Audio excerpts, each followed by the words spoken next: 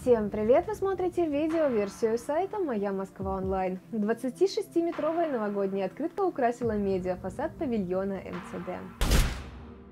Как сообщили в пресс-службе Департамента транспорта, длина открытки, оформленной в общей новогодней стилистике городского транспорта, составляет 26 метров, а высота 5 метров. В сообщении уточняется, что на синем фоне изображены разные виды общественного транспорта и ярко-красные цифры 2020. На этом пока все. Больше новостей на сайте mymsk.online. До скорого!